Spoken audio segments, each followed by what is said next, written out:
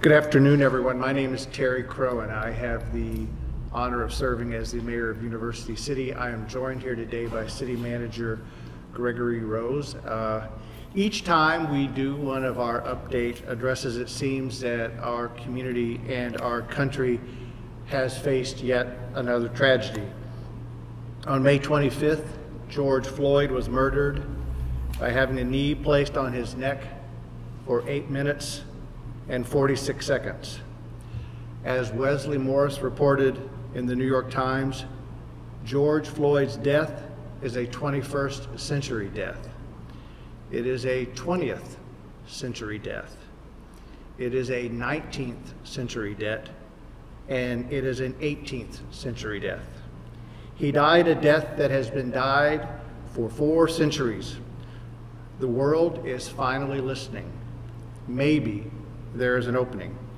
People may not understand what they are getting wrong, but maybe, just maybe, they are willing to listen and learn. And that's the part that must give us hope. Many peaceful protests have followed. As Audra Burch reported in the Times, on any given day, the protesters spill out onto the streets, driven by fury. They march, they kneel, they sing, they cry, they pray, they light candles, they chant and shout urgent voices muffled behind masks. They block freeways and bridges and fill public spaces. They press their bodies into hot asphalt, silently breathing for eight minutes and 46 seconds. They do all of this beneath the watchful gaze of uniformed police officers standing sentry nearby. Violence against African Americans is a familiar song. We know their names. Trayvon Martin, Tamir Rice, Michael Brown, Philando Castile, Sandra Bland, and Eric Garner, who uttered the same plea as George Floyd. I can't breathe. I can't breathe. Yet again on June the 12th, Rayshard Brooks was shot in the back twice in Atlanta. Since the time of George Floyd's murder several weeks ago, the St. Louis region has seen dozens of protests. In University City, we've had at least six demonstrations, all of which have been, for the most part, peaceful. Some of the protests have had as many as 2,000 attendees who have marched through our streets of University City. We've seen many, seen many boarded up businesses, yet they have become painted with beautiful murals, a show of unity and of hope. We know that we are facing uncertain times, both with civil unrest and continued cases of COVID 19. We want to protect the rights of our citizens to protest and have their voice heard, but we also do not condone violence of any kind. This is a time for our community to come together, have tough conversations, and ask questions. We can do this peacefully and thoughtfully, and we will all be better for it. I want to express my appreciation to all of the protesters who have come to our city. Your protests have been organized and they have been peaceful. I'd like to express my appreciation to our residents who not only welcomed the protesters but at many times joined in. I also want to show my appreciation to our police force who welcomed the protesters and professionally and peacefully guided them through our community. When the protests first began happening, the City Council asked the City Manager and the Police Chief to update us on our police protocols. We were following up on questions and comments from citizens that came from the eight can't wait questions and came from comments and suggestions made by former President Obama. Chief Hampton gave us a, an update a few weeks ago talking about all of the items on the eight can't wait list, and in particular de-escalation, chokehold bans, duty to intervene, and diversity training. We are very pleased with how this, the, Uni the University City Police Department has addressed all of these policies. We also recognize that we can always do better and we can always reform and improve. Our next step is to get body cameras and determine protocols for our police officers that protect our citizens and collect our police officers as well. So to Chief Hampton, I want to say, I hope that you will pass along to all of the members of our police force, thank you for the job you have done in keeping our community safe and keeping our officers safe as well. I now want to turn briefly to COVID. You know, as a community, we sense your frustration at times. We get it. We continue to balance the safety of you, our residents, and our employees with your desire to have greater freedom and more activities for you and your family.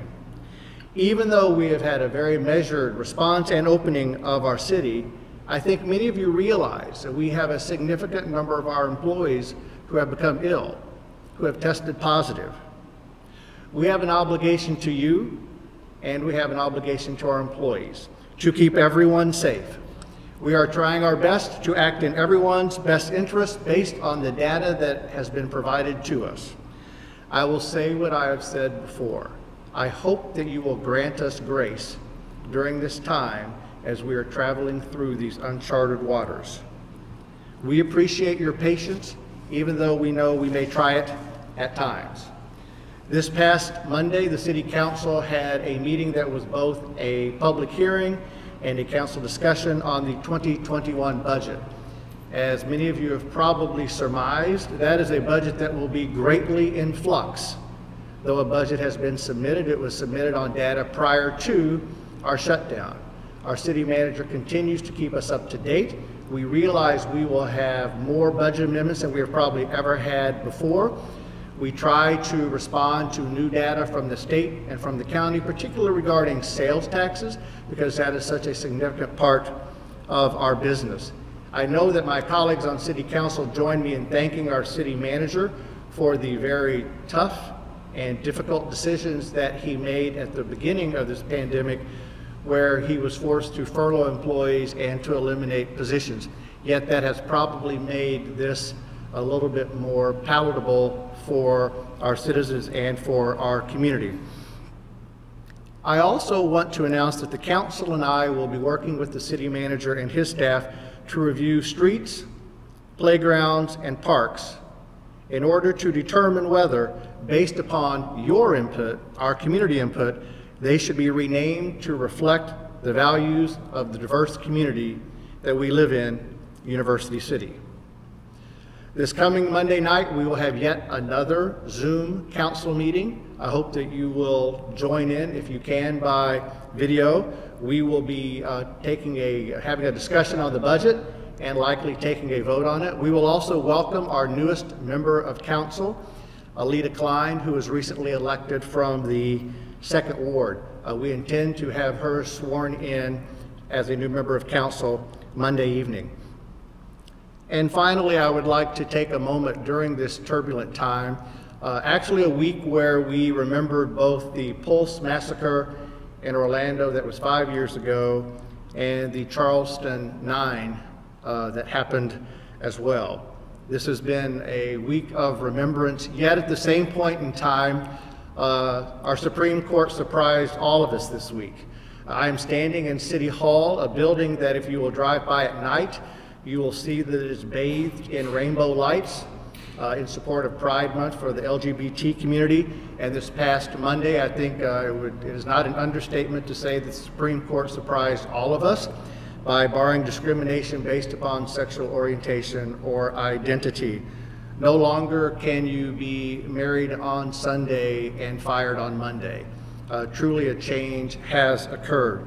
So to all of you in the midst of this turmoil, I thank you for your patience with us.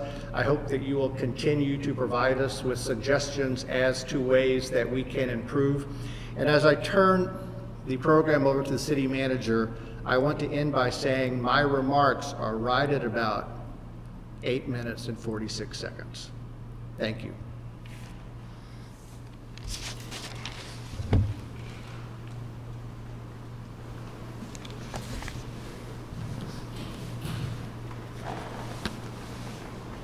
Mayor, thank you, and, and thank the uh, council and the uh, uh, citizens for allowing me to provide this uh, update. We are continuing to provide services to our residents under a state of emergency declaration, which actually went into effect in March of this year.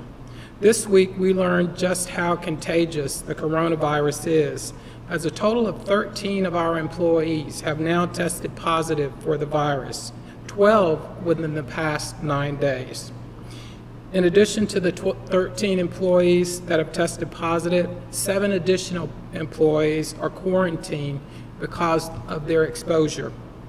Our thoughts and prayers are with our employees and their families in what must be a difficult time for them.